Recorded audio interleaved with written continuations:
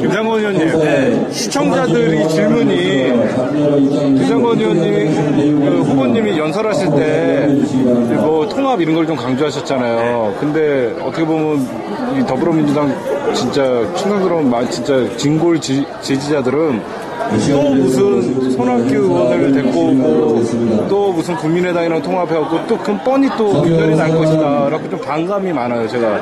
그거에 대해서는 좀 어떻게 생각하세요? 그러니까 뭐 김상훈 위원장님이 어, 손학규 의원도 얘기를 뭐 얘기하고 있다는 거 오히려 뭐 반감이 좀 생기는 분위기가 있어요. 그런 것에 대해서는 어떻게 지금 생방송으로 지금 나가고 있어요.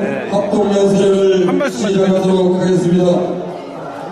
이제 우리 당이 내년에 정권 개최에 꼭 승리하기 위해서는 우리 당의 여러분들 유력한 대선 후보들이. 모두 나와서 경쟁하고 사흘 능력과 책임을. 대항해야 한다고 봅니다. 그래서 우리 문재인 어, 대표가 가장 강력한 후보이시지만은 가능한 모든 후보들이 나와서 대결하고 경쟁하고 강원동 나중에 화합하고 더불어민주당의 희망입니다. 꼭 이기는. 후보가 돼야 된다고 봅니다. 그러면 후보님은 뜨겁게 자, 환영합니다. 나중에 화합할 당대표가 되시면 화합할 수 있는 방법은 있으세요? 여태까지 더불어민주당이 분열로 사실 많은 국민들이 실망을 했는데 이 자리는 저는 더불어- 그동안에 개파적인 소속이나 개파주의적인 운동을 한 적이 없습니다.